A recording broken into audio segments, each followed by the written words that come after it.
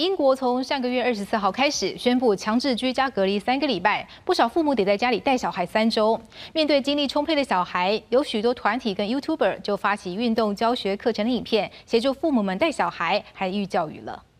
Hi there, children. My name is Megan, and you are watching Fairy Fitness. And today we are going to be learning the Macarena. 跟着影片中老师的动作，小女孩盯着餐桌上的电脑，在餐桌前跳起舞来。没多久，女孩的哥哥也跟着加入跳舞。新冠病毒疫情肆虐欧洲国家，英国首相强森上个月二十四号开始宣布实施三个礼拜的强制居家隔离，让许多英国父母开始足不出户，宅居在家中带小孩。为了缓解带小孩的压力，各种团体跟布洛克发起了活动，让父母能够从中获得休息时间。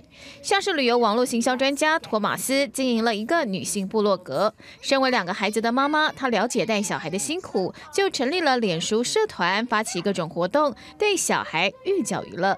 The idea behind the group, which is called Happy Hour at Home, is to try and give women an hour off a day by um, by giving the children um, a creative, crafty type activity every day. 社团会晒出小孩们投稿的画作，也会举行自制手偶玩偶比赛，让小孩能够专注于做娃娃，并且录制影片分享给其他的妈妈跟小孩。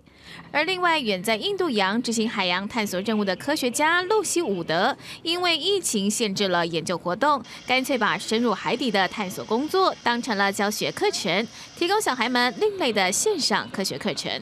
I'm going to be talking about the deep ocean and seamounts.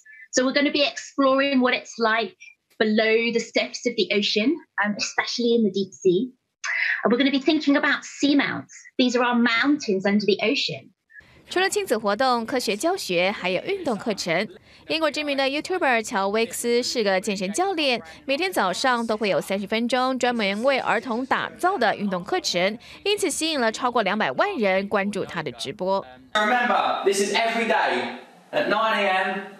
for children, school kids. Parents can get involved. If you are at home and watching on the sofa, jump up, join in, have some fun together. 目前，这位健身教练也承诺将会把跟儿童互动的三十分钟广告收入捐出给英国国家卫生局，协助政府进行防疫措施。记者陈雄报道。